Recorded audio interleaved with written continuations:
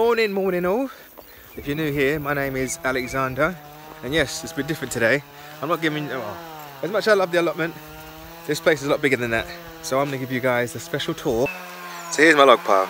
If you're new here, I've been gardening for 14 years and plus I've been working and helping out my tree surgeon friend Jesse and yeah, I kind of take the rubbish away, bring it here, turn it into biochar, put in potash, all sorts, make log piles, you name it. So this pile here, I'm I'm going to take this pile to Uist. Like we're gonna have a wood burning stove. The thing is, because it's so chunky, gonna have to spend a day, several days maybe, is chopping it down into little bits. So once that's done, then I can pack the van because my van ain't that big.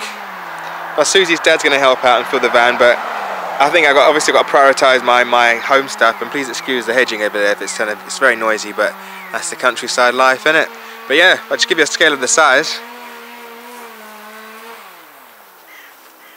It is big, no?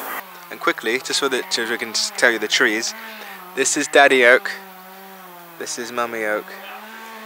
And over there is Baby Oak. Also, the sad thing is, I know this. This is going to be. There's going to be. I've seen birds and all sorts fly over it, so I'm sure there's lots and lots of habitats in there.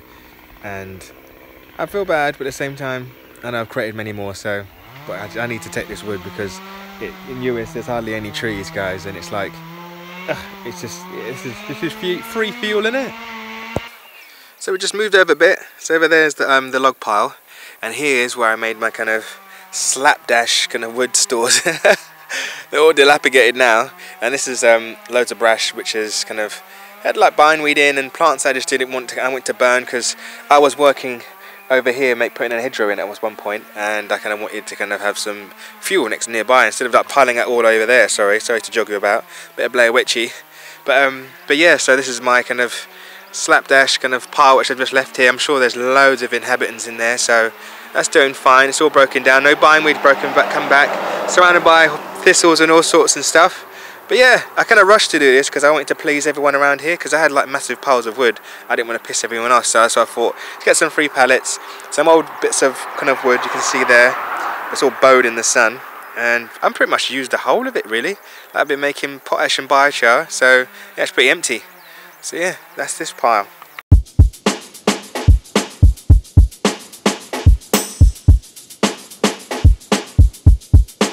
Let's go to the hedgerow. So I don't know why I did it really. I kind of did, I, yeah, I know why I did this.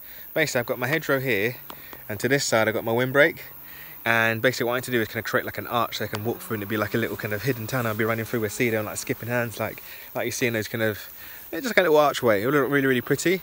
But um, plus I could so I could walk through and kind of maintain it in case instead I have to intervene and do all sorts and stuff like that. But the hedgerow's doing really well. And I put a link in the top right of the screen because at one point I had to move it because long story short I didn't get a surveyor. I thought this was my borderline from from literally from Baby Oak which is there all the way straight down down the back there. So um, oh look the moon's out. That's why I know when you see the moon out in the day I kind of feel like it's going to be a good day. And it is a, a motherfucking good day. It's nice and warm and back and welcome a tan but um so um so yeah lots of house martins out too. But what was I saying yeah, I stupidly didn't gonna get surveyor in, and the the borderline. If you look here, you see this. There's these guys are working here building some wooden structure thing, and that's where I thought the border was. So I took an uphill. I planted all this. These guys, poor little guys, had to move. They, they're coming back though, and I had to move it like dig it up but in the process as I moved it I kind of thought you know I'm to do this I'm to make like a proper Hugo mound so I got some old logs. Like I said I had more logs over there so I had like two massive piles. All those logs there got moved down and put all the way down here and then because they were building a new gate over there had lots of soil lots of um, old clay and I just piled that down and then stuck loads of willow slips in there. So I put lilac in here buddleia like loads of willow willow slips and all sorts and stuff like that. I can see some um, I'm not sure if that's good. Oh, that's Brunnera. We don't really want Brunnera here, or Alkanet, green Alkanet. We all know that plant, right, people? It's a bit like comfrey on steroids, the way it spreads and goes crazy and stuff, and it's quite thuggish, so it will kind of take over. And like I said, the bees like it, but it needs to be kept in check. And if I was staying here, I would.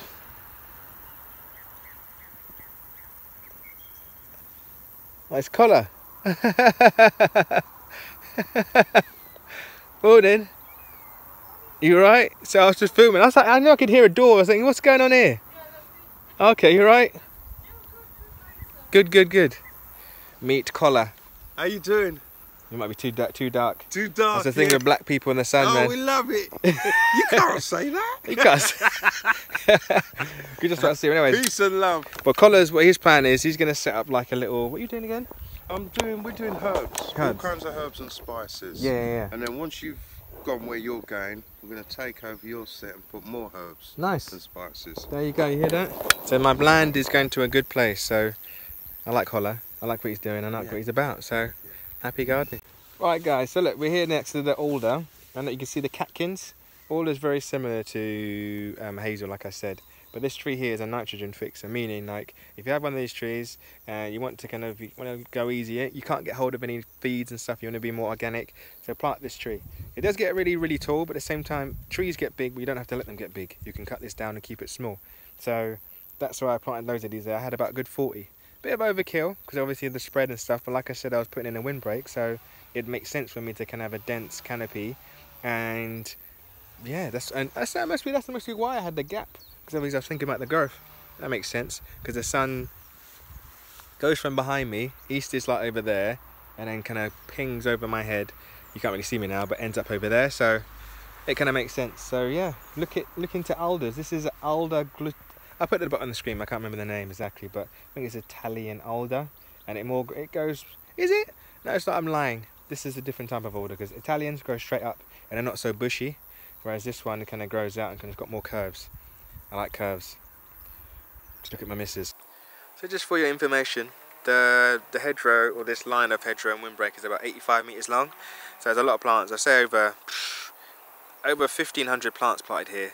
And it's funny when I planted the day I planted these, I had um, a guy who was six foot seven help me plant them, and the plants were 30 centimeters tall. He's quite good at covering up his pains and stuff, but his back must have been killing him because mine was a bit achy, but his one must have been buggered. But anyways, next stop, we'll go down. Basically, there's, there's, there's more windbreak. There's windbreak everywhere, guys. But we're gonna go down and see these pallet sheds here. So hey.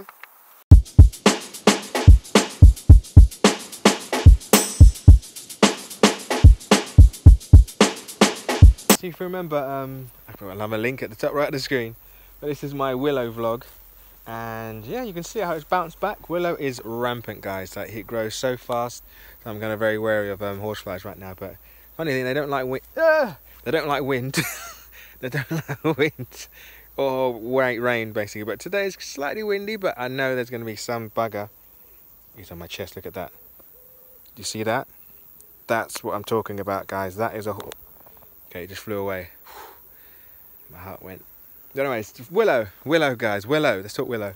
So willow is a lovely plant. It's tough, it's hardy. Like get some willow in your garden, guys, because it grows so thick and fast. You can coppice it right back. Good for kindling, good for firing. It's pe- aspirin's made out of it. It's very good at kind of a rooting hormone. So if you can cut some willow, put it in a jar, put it in, put your plants in that you want to propagate. It gives them a kind of a high percentage of chance of them to surviving. It's just a great plant. So this guy, this is, I mean, this is goat and goat and crack willow. I always get confused with my willows. It's a willow, nonetheless. But um, yeah, this one doesn't get too big. And like I said, when you've got a tree in your garden, it doesn't have to get so big. You can always trim it back and keep it nice and small. Whereas this guy, like, this is wild, obviously. The brook is literally just like three meters that way. So it's kind of sprawled out, it's grown so big, and it's kind of fallen down and cracked open and just kind of spread out. And that's why it's kind of so low and stuff. So we can kind of, we can work our magic. Because this one over here, it's kind of big. But again, like I said, you can keep willows in check, you can cut them back, and they're just really great, great habitat. And the bees go bonkers for the flowers when it comes um, springtime. So yeah, another reason to have willow in your garden, guys. So we have the pallet sheds. So I kind of rushed, I did these, I rushed these. I do have another set, you can look over here, you might be able to see the top of them. Let me see if you can zoom in. So I'm gonna check my zoom, I can't really see. We'll take you over there in a bit anyway, I'm sure you've seen them in our other vlogs. But um, these guys, I kind of rushed to build these. I was gonna fill them up with wood, and it was a good idea at the time, you know, you just want projects to do, keep you busy, keep your plans and stuff. But for example, I'm gonna have wood in this side, I'm gonna have more wood, and then I'm gonna have some like wood chip, or like bark and stuff, we're gonna have some horse poo, and then like miscellaneous stuff. But all that's ended up is that there's stinging nettles in this one, there's, there's more wood in that. It's more uh, essentially I made habitats, which is kind of good.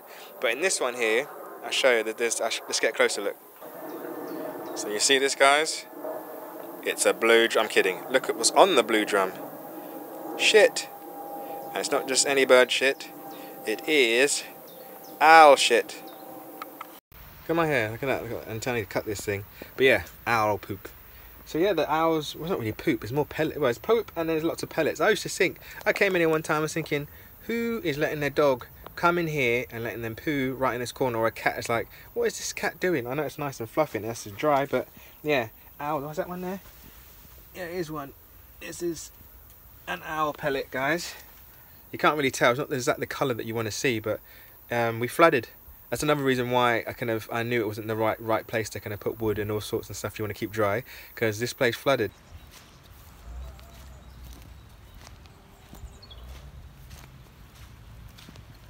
What the fuck?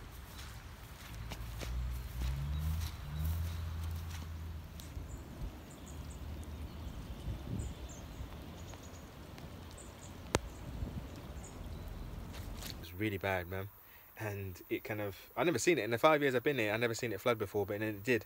So this should be a more of a darker brown. And the owls they can't they can't what do you call it? They can't digest hair and bones and stuff. So they regurgitate, and it kind of looks like cat poo. Oh, I got another one of these. I was looking for this. I thought I'd lost it. I was thinking someone robbed me. But anyways, I got this back. But yeah, you can see it's quite roomy. Could what? I don't even know. Eight foot by eight foot shed. Yeah, it'll be a nice room. About it must be about flipping 560 PCM down in Wimbledon, and then you get a toilet in the corner, your cooker here, and then your bed up there, innit? I'm joking, but you know what I mean. So yeah, it's a nice space. And the owls used to use this one. They used to use this a lot, but they used to more so use that one. But you see other birds in here. But it's weird how they chose this one. But but yeah. Anyways, let me show you where they live. So here's the sheds, and here are, or here is, sorry, the owl box. I can't even see. That, there it is. There you go, guys. This is the owl box. Me and my mate Jesse, well, more so Jesse than me, he climbed up there. We chopped some trees back. We kind of cut back. There's another. You can see all the old tree here. You can hardly see it because it's just covered. Actually, this tree was huge when it was on the ground, but there's stinging nettles have taken over and all sorts and stuff like that. It's making my reach look long, like Jon Jones, like. But um, frig. Horse fly around me. Oh, did you hear that? Anyways, back to back to ours. Yeah, these guys. Let me, let me show you a bit of VT. Like when I've had trail cams, I've got like a. I felt like Big Brother with owls with the amount of kind of footage I've got of these guys. So let's talk about owls for a little bit. Also, another thing, I might plug my friend. I did say I was gonna go up there and clean the owl box, but I didn't have time, and I thought it's only been a year since they've been in there, so there's no. They don't, I can't imagine them. Well, birds do shit a lot, but I feel like it can't be. I mean, it's quite deep up there, so that's the thing with owl boxes. You have to kind of keep them clean, keep them fresh. Otherwise, the owls will move on and go elsewhere. So that's the thing about that stuff. Sorry, it's just a bit of grass, but um. but yeah, my friend, she's called um Hello Sabo, and I was gonna plug her when I climbed up there. And we're gonna, I'm gonna make a, um, an owl kind of vlog called um, what was it? Houses of no, Parliament's finest. Because a group of owls is called a parliament, and they people assume that owls are very wise. They're not really big people. They're they're quite thick. They've just got good hearing and good eyes, and that's pretty much it really. And yeah, they can be pretty, but crows are more more crows are wiser and, and kind of smarter than them. They call them ape birds, but they don't get the good stick stick because a group of crows is called a murder. I don't think that's by mistake. Blackbird, innit? But anyways, so anyways, yeah. So let's just look at some owl footage.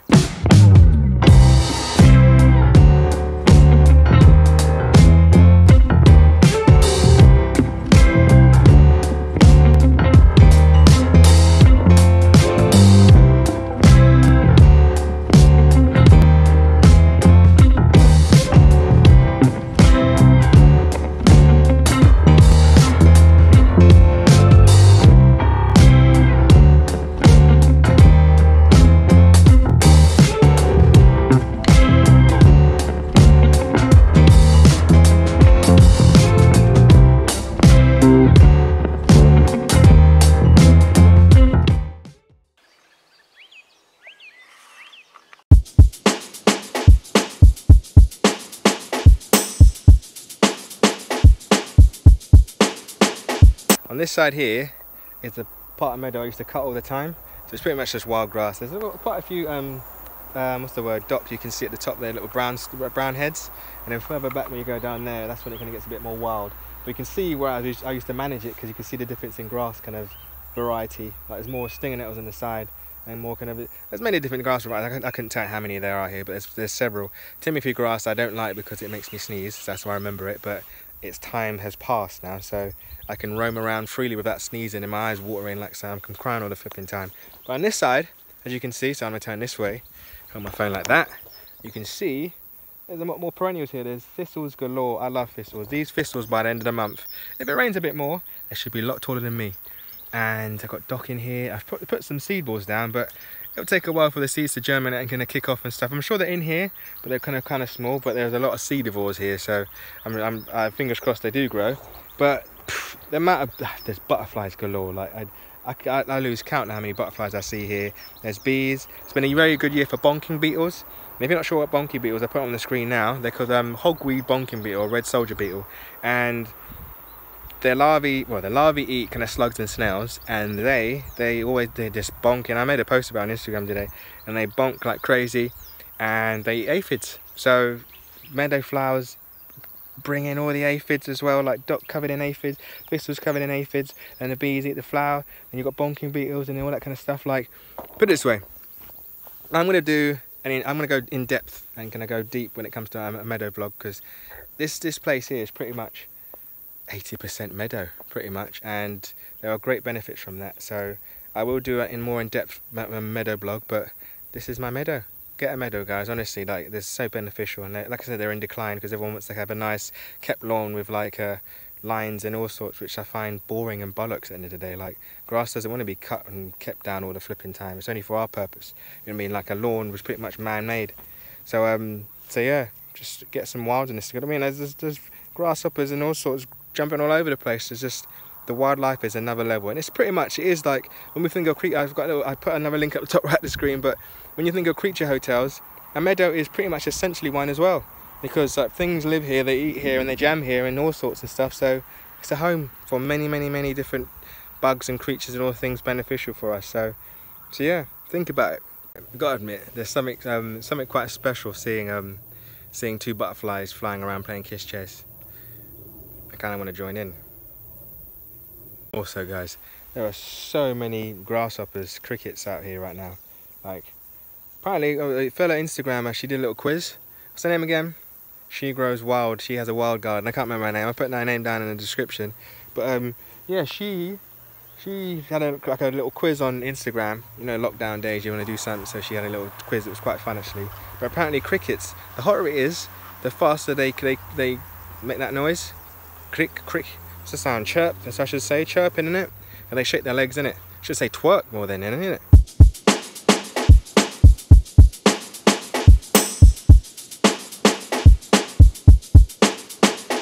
So, here we have Poo Stick Bridge.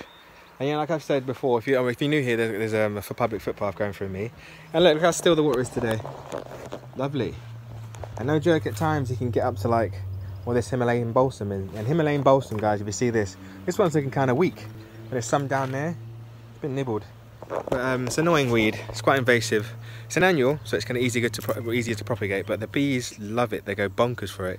But yeah, it just kind of takes over, and it's a bit like it's almost not weedy in the way it kind of like smothers other things and kind of like nothing underneath grows. But because you've got waterway, you're going to get seeds that flow down and spread and pro- propagate on the bank. So something to look out for. So Himalayan balsam, and Anne had some at one point, and she loved it. The bees used to, me and my cousin used to kind of pull the flowers together we were little and listen to the bees go bonkers and say like, and then run off screaming inside like ah.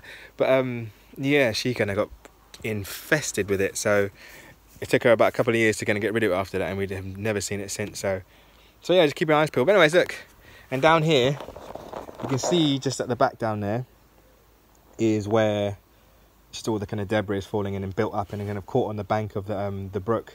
And no joke, my friend, we had like a little argument. He kind of thought it was a beaver. But yeah, there's no beavers here. I'd love to see beavers because obviously this is like it would like, mostly flood this whole place, but at the same time the ecosystem would be would be zen. It's nice now, but yeah, be, I'm sure there'll be uh, it would open up more habitats for all different types of stuff, flora and fauna alike, if you know what I mean. So, so yeah, this is Poo Stick Bridge. Should walk in it one day. There's no, what's the word? There's no gruff underneath. Is that that Billy Goat's gruff? Can't remember that story, but yeah, it's a lovely when the stream's running, especially winter time. You can it's good good good day for poo stick. So if you don't well if you don't know what poo stick, this is what poo stick is. You get a stick, you don't get poo, and you break the stick, and you got a group of friends or whatever standing here, your arch enemies, and you get your stick, you drop the stick, and then you go inside, you're like, and you run this side, and you see who makes it down into the stream the quickest, because there's no current right now. It's a bit of a shit game, but yeah, that's poo stick.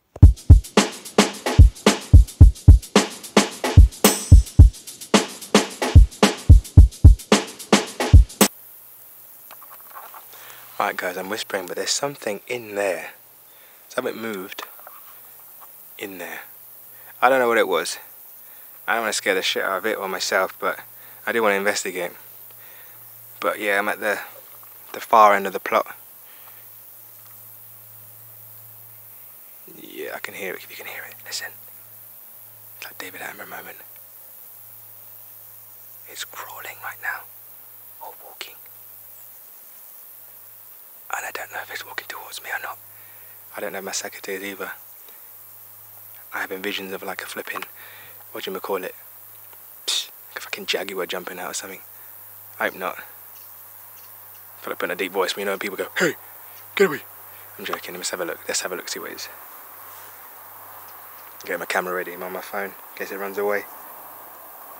My, my, I kind of my money's on it's a pheasant, female.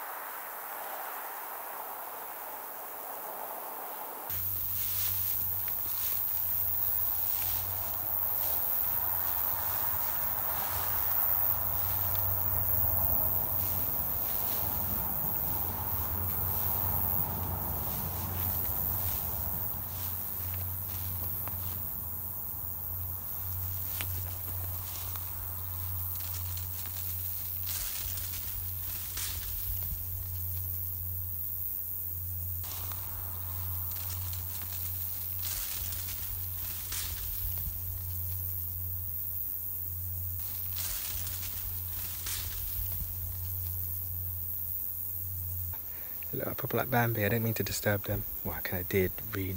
I want to come over here, but I didn't know we're there. So yeah, another reason to have meadow, guys. Especially if you live out in the sticks. Like it's a nice, perfect place for mummy and daddy, or mummy especially, to go off and go and feed and kind of do what she's doing, and then the babies can just sit in the long grass and be like, and play um, Game Boy and stuff. And yeah, that's quite sweet. I feel bad. There's a pheasant over there, so my money, I'd have lost my money if I said that, but yeah, two baby deer. I just leave them alone.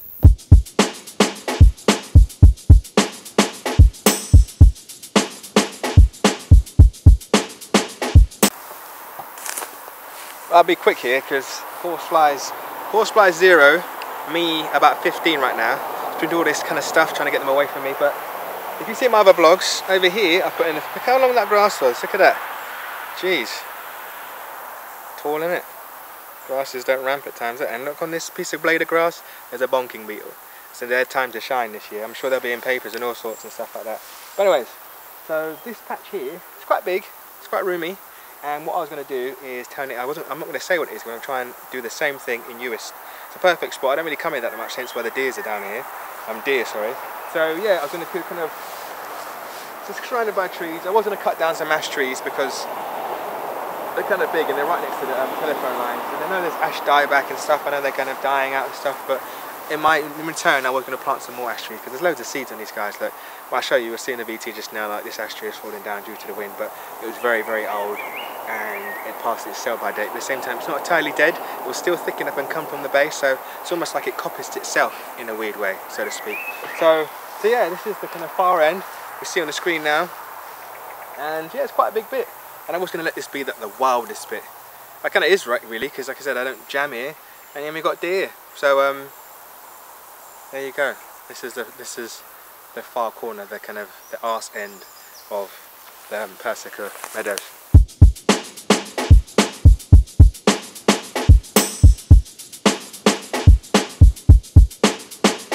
Also, I've been vlogging for like, God knows how long, but a couple of couple of months, well, since November, And I never knew that the, the tripod could do this.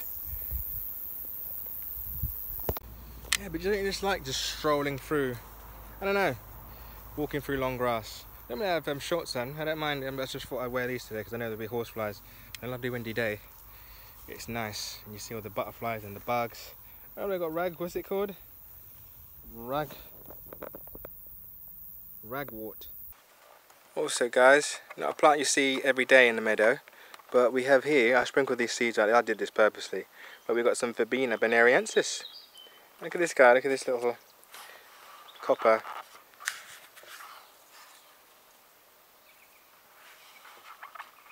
Let's see if we can see what ran away from me just then, what distracted me.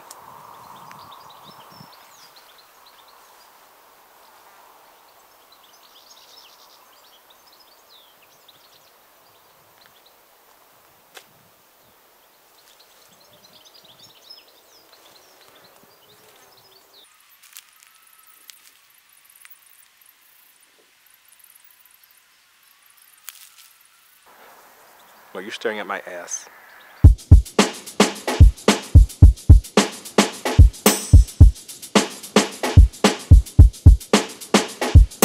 So here are my pallet sheds. So we come from all the way down there, and now we are here. And this one at one point was full of horse poo. Really easy to make guys. Uh, There are different types of pallets, but I tend to want to go for the ones which are kind of 120 by 100 centimeters. And yeah, you want to get the kind of similar size pallets. So I went crazy. I think I've got over like 300 pallets in, not in these, but just in the whole area in general, just to kind of just pallet mad. Like I think it was very hard to get over the um, pandemic because everyone was trying to do their DIY projects and stuff. But um, I had enough, fortunate enough to kind of finish this place. Anyways, I'm blabbing. So yeah, so this guy, I've kind of made these for kind of all my stuff. Yeah, it's, it's, they settled in well. I've raised them off the ground. So they've got like a couple of bricks underneath, just uh, kind of so they don't rot as, as well quick. And because I know they will do. That's, that's life. So um, so yeah, they've, they've done really well. So here's my miscellaneous wood pile. And it's right next to the pallet sheds here. And behind here, my water butts and stuff, they filled up nicely. One found down the other day, and they must have made like some almighty bang. But um, yeah, good rainwater. I know I still got some rainwater in there. I should go and check them and see if I can give them to my spuds because they like fresh rainwater. So I never, I don't like chucking wood away. Like if I see people chucking wood out on the skip, I'm like, can I have that? Can I have that? And I've got a lovely. I got more wood. Over, I got more wood over there too. You just can't really see it. But um, but yeah, always keep your wood, people. Honestly. Like, it's just it's silly how much stuff we chuck away. It's really really sad. Even if like even if it's like it's untreated, doesn't matter because at the end of the day like you could put it good to use or use it for something or if it or we could just make a pile. Just make a pile of it there and then you create like a creature hotel.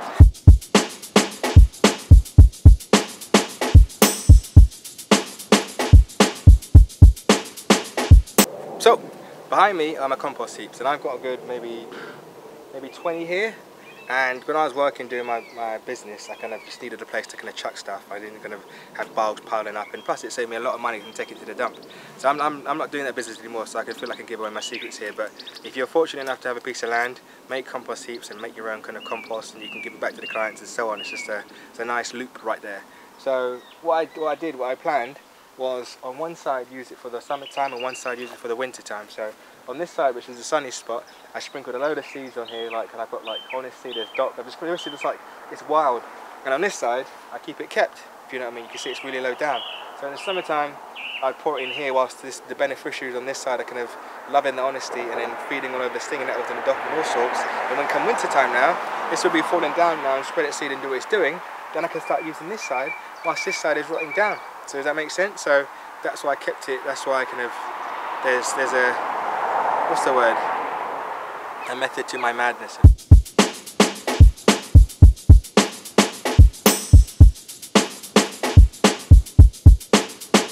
Oh, we're in the greenhouse.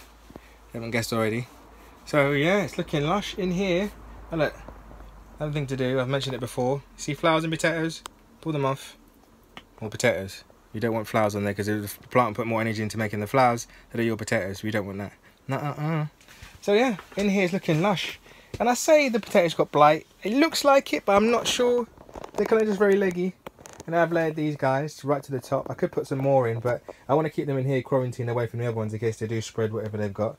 Because it's natural and everything to get disease. So these tomatoes look a bit leggy. I should really tie them up. I think that's what happens when you're in a greenhouse and they're overly warm. They get like this. But those ones outside, they kind of left to their own devices, and it's warm but not as hot. And look, it's 34 degrees in here if you can read that. Yeah, it's quite warm.